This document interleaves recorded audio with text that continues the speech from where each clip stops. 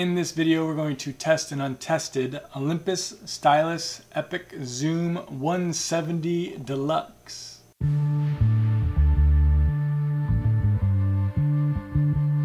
All right, so I picked this camera up on eBay for $25. Here's the price that I purchased it for.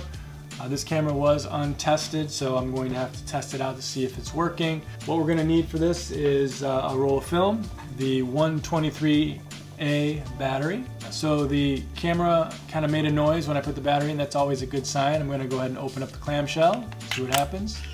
That's another good sign.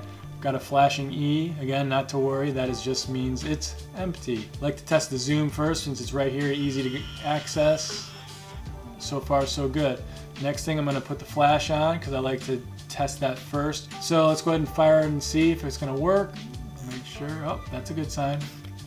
Boom. Take a peek at the shutter, make sure it's opening and closing properly. Yep, that's good. Go ahead and set the timer on. We'll take a time shot. Red light comes on. I like to test that too before we sell it. And that just fired for me, so that's all good. This is a dummy roll. What I need to do is actually get the film out of the canister and I have this cool tool that allows me to do that. There's a link in the description below. Pull. There you go. lay it in as you're supposed to. That should turn into a 1. Now we're at 2. 3. Next thing we're going to do is go ahead and rewind it on the bottom. Use my little screwdriver to do that.